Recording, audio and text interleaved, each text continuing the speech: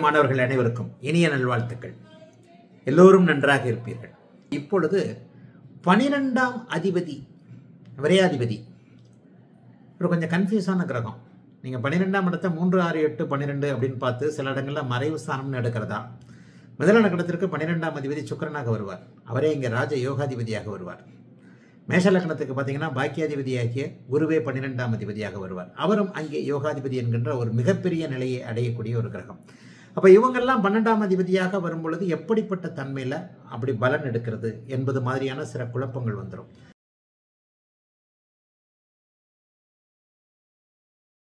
சூரியன் பன்னிரெண்டாம் அதிபதியாக வருகின்ற ஒரு நிலைமையில அவர் கன்னியா லக்னத்திற்கு சூரியன் பன்னிரெண்டாம் அதிபதியாக வருவார்.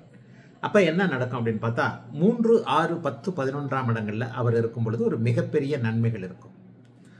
மூன்றாம் இடத்துல நட்பு வீட்டில் இருப்பார்.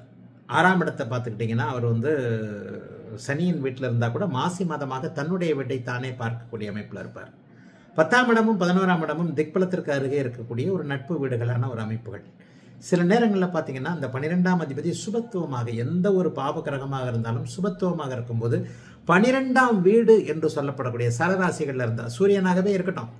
சூரியன் அரைப்பாவர் சனி சபையாகவே இருக்கட்டும்.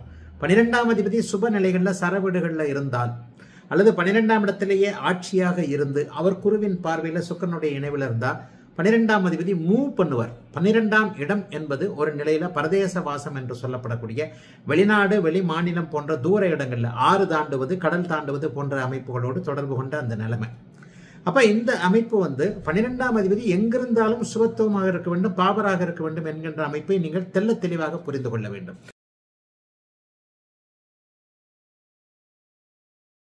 புதன் எங்கிருந்தாலும் நன்மைங்க அவர் ஸ்தான பலத்தோடு இருக்கணுங்க. புதனை ஒன்று மூணு நாலு அஞ்சு ஏழு ஒம்பது பத்து பதினொன்றுன்னு போட்டிருக்கிறேன். துலா லக்னத்திற்கு அவர் பன்னெண்டாம் இடத்துல உச்சம் ஆவார் உச்சம் அடைஞ்சால் நல்லது. பாபத்துவம் அடையக்கூடாது. துலா லக்னத்திற்கு பனிரெண்டில் உச்சம். கடக லக்னத்திற்கு பனிரெண்டில் ஆட்சி. தனித்த புதன் சுவர் இல்லையா? ஆக இத்தனை விஷயங்கள்லையும் அவரை வந்து எங்கே வேணாலும் மேட்ச் பண்ணலாம். புதன் தனித்திருந்தால் லக்னத்திலேயே இருந்தால் திக்பலம். புதன் லக்னத்தில் இருக்க பிறந்தவன் அறிவாளி. விருச்சிக லக்னமாகவே இருந்தாலும் கூட அட்டமாதிபதி லக்னத்தில் இருக்கிறாரு. அட்டமத்திற்கு ஆறில் தானே மறையிறாரு? லக்னத்தில் திக்பலமாக இருக்கிறாரு. ஆதிபத்திய விசேஷங்களை செய்ய மாட்டார். காரக ரீதியிலும் நன்மைகளை ஜாதகனை புத்திசாலி ஆக்குவார் இல்லையா?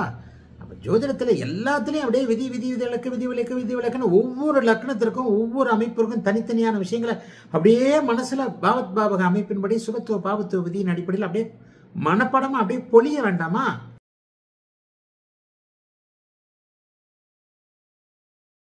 இந்த கட்டத்தை பார்த்தீங்கன்னா இவர் ரொம்ப கெடுதலாக பண்ணக்கூடிய ஒரு அமைப்பு. பன்னிரெண்டாம் அதிபதேச கெடுதல். ஒரு விதி விலக்க போட்டிருக்கேன். மூன்றாம் இடத்துல நல்லதுன்னு சொல்லி சொல்லுவாங்களே இங்கே பாருங்க நீச்சம். ரிஷப லக்னம். ரிஷப லக்னத்திற்கு செவ்வாய் ராகுவோடு சேர்ந்துட்டார். தப்பு இல்லையா? தான் பலவீனமாகி நீச்ச பாபத்துவத்தை அடைந்து அங்கே ராகுவோடு இணைந்து கூடுதல் பாபத்துவமாக இருக்கிறார். அதன் அதனை அடுத்து கெட்டது குடி பட்டகாலிலே படும் என்கின்ற அமைப்பில் சனியின் பார்வையும் அவர் வாங்கியிருக்கிறார். இந்த இடத்துல செவ்வாய் தசை பிச்சு எடுத்துரும் மனுஷனை. என்ன நடக்கும்?